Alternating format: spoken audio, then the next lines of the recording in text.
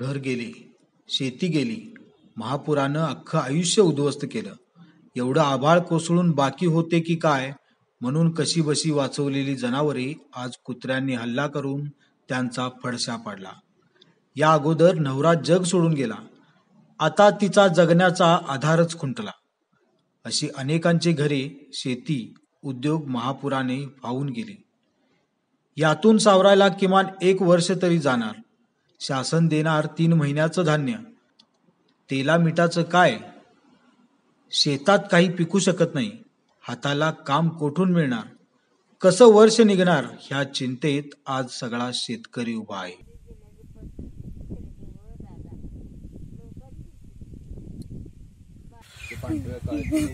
काय होतं सांगा जरा मुशी काय झालं? तीन पिल्ले आणि दोन काय झालं? कुत्र्याने पाडू काढल्यात पाक इथं बांधली होती तो? होय इथं आम्ही होतोच की सगळे बायका को- दगड फेकल्यात नाही सगळे पोरं आणि दगड वगैरे सगळं फेकल्यात तरी बी ऐकायला झाल्यात. गेली एक महिनाभर इचलकरंजी शहराला पुराच्या पाण्यानं वेढा दिला आणि त्यातून जे व्हायचं ते होऊन गेलं आणि गोरगरीब कुटुंबांचं अतोनात नुकसान झालं ह्या गोष्टीतून. मग ते घरदार असेल प्रपंच असेल भांडीकुंडी असतील त्या त्या पद्धतीनं आम्ही आजपर्यंत गेली एक महिनाभर या अनुषंगानं आम्ही पाठपुरावा करतोय. काल याच अनुषंगानं दुसऱ्या मजल्यावरील लोकांना अनुदान मिळावं म्हणून आम्ही काल आंदोलन केलं मोर्चा केला मोर्चा काढला.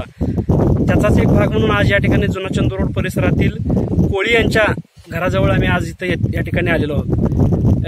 त्या कोळी या बांधवाचं पुरातून घर अख्खच्या घरचं घर वाहून गेलं. घरातले प्रपंचक साहित्य वाहून गेलं. हे होत असताना कमी की काय म्हणून काल त्यांच्या चार शेरडं होती. चार शेळी होत्या त्यांच्या.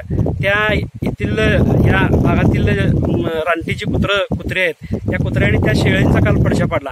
म्हणजे एक एक संकट त्यांच्यावर एक एक संकटावर त्यांच्या संकट येत असताना त्यांना कसं सावरू अशी परिस्थिती होत असताना काल दुसरं संकट. आज या ठिकाणी आम्ही त्यांच्या शेतात उभा आहे.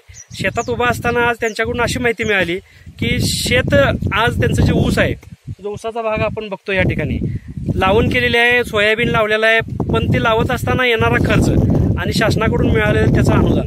किंवा शासनाकडून मिळणारं ते जे सहकार्य ह्याचा आणि त्याचा कधीच ताळमेळ बसणार नाही. कारण आज आम्ही एक महिना या शेतात आता आम्ही बघतो एक महिना झालं. एक महिनाभर पाऊस पडून झालं. आणि पाऊस गेल्यावर सुद्धा अजूनही त्या जमिनीनं गात आलेली नाही. म्हणजे ह्याच्या महि- ह्याचा नंतरचा सुद्धा भाग एक महिन्याचा भाग सुद्धा अशीच ती शेती राहणार आहे. म्हणजे ह्या वर्षभरात त्यांना त्या शेतातून काही कसल्याही प्रकारचं पीक आणि उत्पन्न मिळणार नाही. आणि ते मिळणार नसताना एक एक शेतकऱ्यांचं लाखोच्या संख्येत नुकसान झालेलं आहे.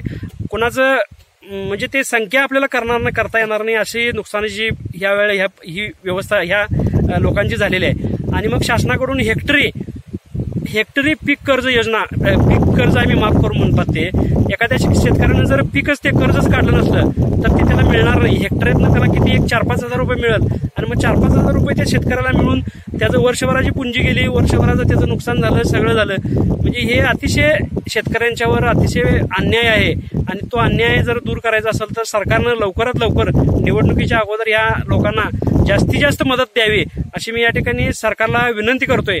आणि विनंती करत असताना जर आम्हाला यातून लवकर तोडगा नाही निघाला तर या परिसरातील सर्व शेतकऱ्यांना घेऊन उग्र ते उग्र आंदोलन करून या शेतकऱ्यांना जास्तीत जास्त न्याय जास्तीत जास्त मोबदला मिळावा यासाठी आम्ही प्रयत्नशील राहू.